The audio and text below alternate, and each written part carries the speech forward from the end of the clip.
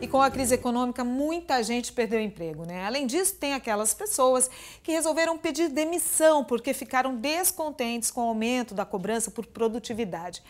E uma saída encontrada por essas pessoas foi investir em franquias. Olha, só este setor espera crescer 3% no começo deste ano aqui na região. Há um mês, Bruno trocou a empresa onde trabalhava como consultor comercial por este espaço, na sala do apartamento dele. Como estava descontente com o antigo emprego, ele resolveu pedir demissão e investiu em uma franquia especializada em pagamentos eletrônicos. A gente está trabalhando com a franquia há menos de um ano, de um mês.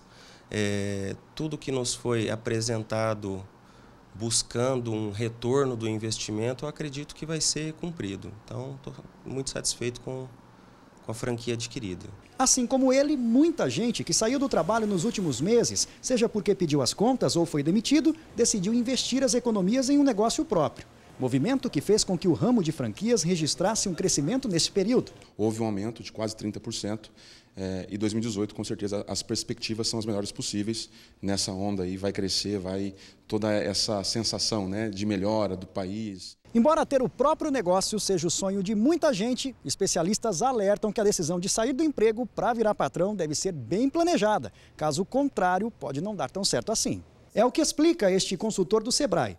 Ele diz que, embora as franquias já tenham um modelo de negócio pronto e ofereçam suporte aos franqueados, isso não garante o sucesso do investimento. É importante que essa pessoa reflita se o que ela pretende empreender tem a ver com o perfil pessoal dela, se ela já tem uma certa familiaridade. Essa pessoa precisa investigar se essa franqueadora é uma franqueadora idônea, se é uma franqueadora que realmente apoia o franqueado no dia a dia, tanto nos aspectos operacionais quanto no de gestão. Mas se esses cuidados forem tomados na hora de fazer a escolha, os resultados podem ser muito positivos. A gente tem uma é, condição de fazer seus próprios horários, trabalhar em momentos que sejam mais agradáveis. Né?